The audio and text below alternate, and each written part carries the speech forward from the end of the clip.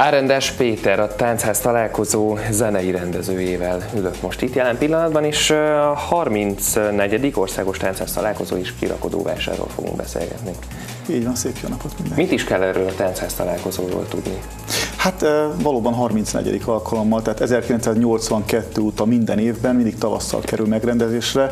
Tulajdonképpen ez a magyar folklórnak egy olyan fajta ünnepe, ahol egyfelől népzenével, néptánccal, másfelől különböző népi kézműves foglalkozásokkal lehet találkozni, mint ahogy a neve is mondja, ugye táncház találkozó és kirakodóvásár, tehát hogyha valaki eljön a hétvégén a sportarénába, akár szombaton, akár vasárnap, akkor ott hát egy hatalmas nagy forgataggal tud találkozni, népzenei koncerteket hallgat, hallgathat, ha van kedve beállhat táncolni, tánctanárok segítségével. Az arénában? Ott az arénában, oh. igen, nem csak a küzdőtéren, hanem uh-huh. az mhm. emeleti úgynevezett kamaratermekben is, de vannak a legkisebbeknek szánt akár interaktív foglalkozások is, koncertek, néptánc együttesi műsorok, ugye szombat este például az ország legjobb amatőr együttesei lépnek fel, hagyományőrző együttesek lépnek föl, a program részét képezi ugye vasárnap este a Csíkzenekar koncertje, tehát tulajdonképpen már péntek este elkezdődnek a programok, programok a fonóban, és egészen vasárnap éjszakáig folyamatosan lehet a népzene és a néptánc bűvkörében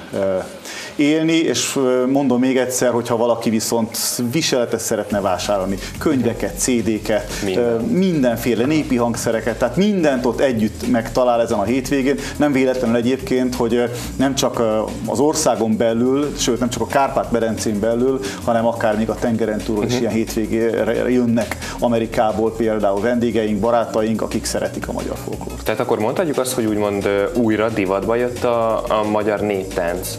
Hát igazából ugye ez divatba jött 40 évvel ezelőtt. Tehát azóta uh-huh. mondják néha, hogy ez így hullámzik, hát igen, de ha igen. csak azt nézzük, hogy hány iskolában van táncok, néptáncoktatás, hány iskolában van népzeneoktatás, uh-huh. hányan járnak rendszeresen táncházba, hányan hallgatnak népzenét, akkor én azt gondolom, hogy az elmúlt 40 évben lefelé nem ment, inkább mindig csak fölfelé. Uh-huh.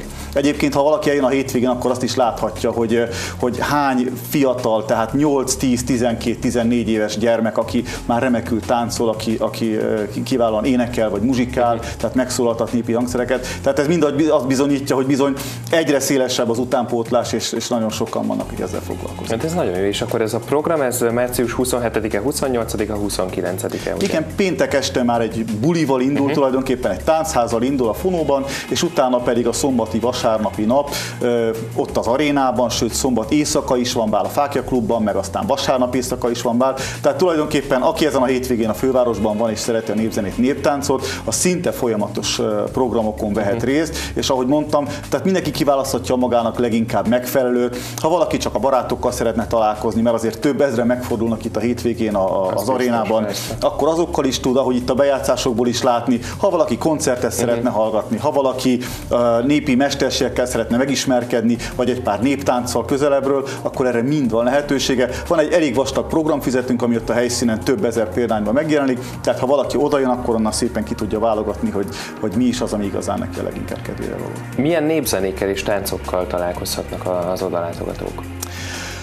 Hát talán röviden azt tudom mondani, hogy a, a Kárpát-medence, sőt talán a, tágabb vidéknek a, a magyar és nemzetiségi uh-huh. tánc és zene kultúrájával. Ugye a táncházmozgalom már a legelejétől fogva nem csak a magyar zenével és tánccal, hanem velünk együtt élő nemzetiségekkel is foglalkozott. Tehát ugyanúgy most sorolhatnám itt sorba a magyaron kívül a szlovák, a, a sváb, tehát német, a, a cigány, a mindenféle nemzetiségnek vagy a táncaival lehet megismerkedni, vagy a zenével, vagy a népszokásával, népszokásával. Ugye mivel a tavasz közepén vagyunk, hát rengeteg tavaszi népszokás is belekerült a mhm. programokba, amikkel ott meg lehet ismerkedni, és amiket úgymond át lehet élni.